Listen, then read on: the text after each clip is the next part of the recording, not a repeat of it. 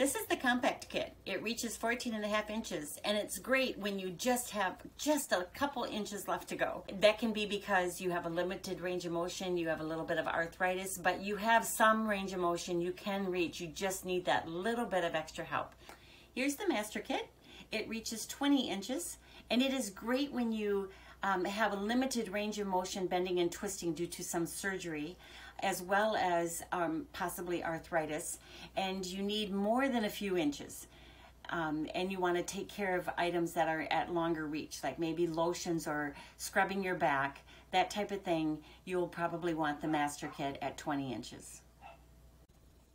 This is our ultimate kit. It gets up to 25 and a half inches, and because it's extra long, we make sure that include the strap in here so that you've got the leverage because it's a little more cumbersome. But this comes in very handy when you want to reach your toes and you're, you have long legs or a long torso. It comes in handy if you've got a, a larger waist, uh, middle, and you have also limited range of motion. That's when the Ultimate Kit at 25 and a half inches will come in very handy.